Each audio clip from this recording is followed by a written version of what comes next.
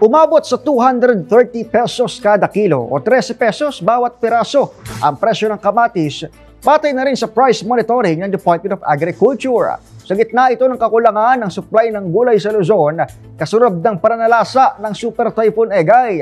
Matandaang nagkaroon ng oversupply ng kamatis sa Cagayan Valley at Central Luzon, kaya bumaba naman ang farm gate price ng kamatis sa 3 hanggang 5 pesos kada kilo.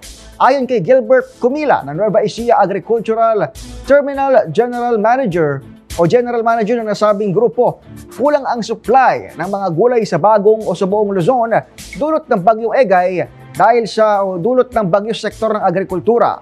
Bukod sa kamatis, tumaas din ang presyo ng iba pang mga gulay gaya na lamang ng sili na nasa 600 piso ulit kada kilo.